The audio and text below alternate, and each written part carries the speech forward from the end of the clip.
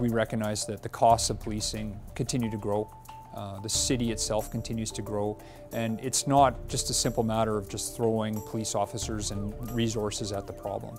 We have to become more efficient at what we do and uh, deploy our resources better around that model.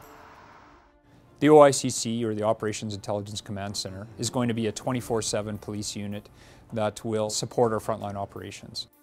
Command centers similar to the one the Edmonton Police Service is undertaking have been established in cities across North America.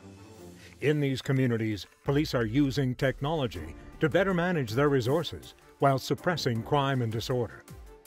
So the OICC will deal with all kinds of crimes. We may look at a robbery, we may look at an assault, we may look at a break and enter, or an event of terrorism.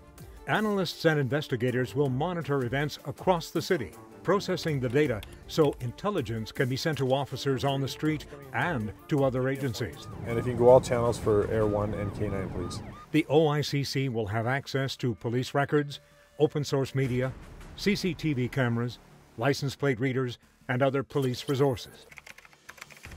Because criminals use technology to identify targets and to plan their crimes, the OICC will monitor the internet and social media for information about suspects and developing events.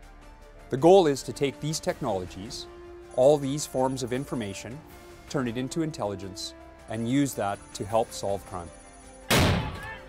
Responding to crime is just one part of the OICC's mandate. The service also wants to use technology to forecast criminal activity.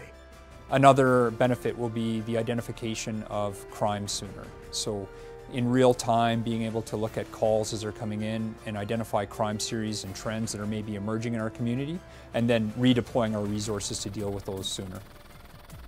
The Operations and Intelligence Command Center is the future of policing.